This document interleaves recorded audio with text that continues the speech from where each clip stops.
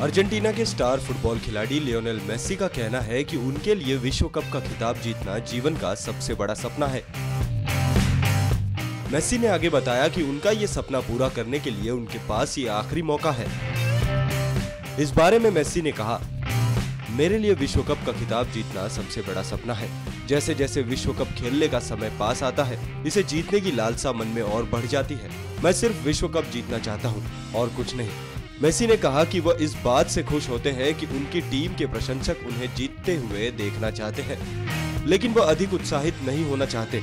पाँच बार बेलेंडियोर खिताब जीतने वाले मेसी ने कहा, मैं हर दिन की ज़िंदगी को भरपूर जीना चाहता हूँ। अपने बच्चों और पत्नी के साथ रहकर मैं सब भूल जाता हूँ। बाकी सब मेरे लिए बाद में आता है। मुझे हारना पसंद नहीं, लेकिन आप हर बार नहीं जीत सकते। आपको बता दें, लियोनेल मेसी को फुटबॉल में दुनिया के ऑल टाइम ग्रेट्स में माना जाता है। मेसी ने अपने जीवन में लगभग सब कुछ हासिल किया।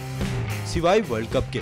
ऐसे में मेसी की कोशिश यही होगी कि अगले बार के वर्ल्ड कप को जीत अपना सपना पूरा कर सके।